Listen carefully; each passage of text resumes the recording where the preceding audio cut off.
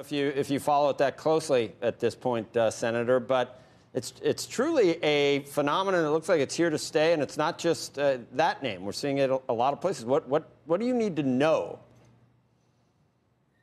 Well, um, look, I, am interested in what we're going to hear. I, I, think from our colleagues on the other side and some of the witnesses, we're going to hear that, uh, you know, un, basically unsubstantiated class warfare about how the system is rigged against the little guy.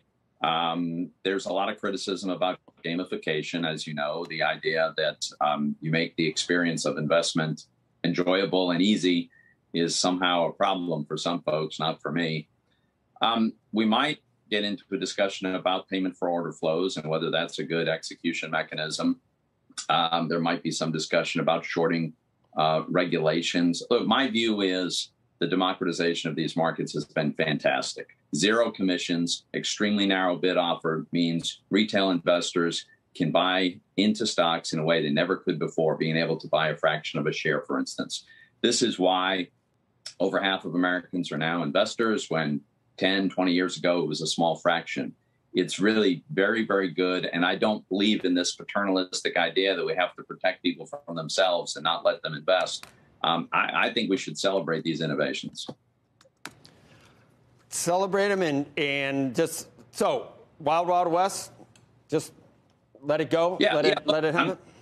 You know, uh, we've got a witness. Apparently, that you know, it, there, there's the suggestion that because GameStop is obviously overpriced, people, the SEC should do something about stopping people from investing in it. Well, I, I don't know. Was Tesla fairly fairly priced at fifteen hundred times earnings? Is it fairly priced today at at a thousand times earnings? I don't know. Neither does the SEC. Neither of us should be telling people what they can buy and what they can't buy. But what about and, and I, they, you can come up with other examples, obviously, when people get together and decide uh, on, a, on an investment theme and, and move it. But the power of social media and being able to aggregate so many people to do the same thing and, and you know, all act in concert, which you know, brings up the, the at least the perception it's some kind of pump and dump from years ago, except it's got a new flavor because it's on uh, on a social media site. That there's no merit to that argument. So I don't think so. I, I don't know how sustainable this is. Look, I do think GameStop was a classic bubble, and it still looks like it's wildly overpriced. That's just my opinion. Um, but I, it's not at all clear to me that any laws or regulations were broken. And I'm not sure what you would do about people who are look. I, fraud is illegal, and it should be, and it should be prosecuted uh, dishonest uh, information about companies, that's illegal. It should be. But a group of people coming together and saying, "Hey, there's a big short on this company. Let's let's buy it and squeeze them out." Really, we're going to try to ban that somehow? I will say there's one thing I think we should be looking at, and that is shortening the settlement cycle. Uh, waiting two days from the time that a trade is executed to the time that it actually clears introduces risk into the system, and, and I think we could diminish that risk, and that would be beneficial. Uh, but but limiting people's freedom to make investment decisions that that doesn't sound like a good idea to me. All right, Sen- toss, it o- Senator, toss it over to Andrew. Andrew.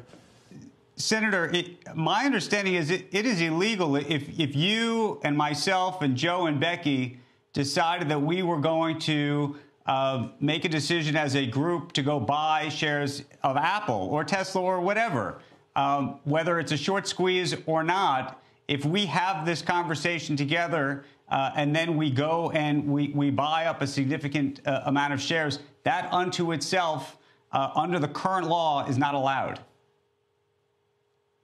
I'm not a lawyer, but that strikes me as a very, very broad interpretation of the law, Andrew. Aren't there investment clubs where people get together all the time and they discuss ideas? And I imagine sometimes a consensus emerges and everybody goes out and buys a stock. Are are those people all routinely breaking the law?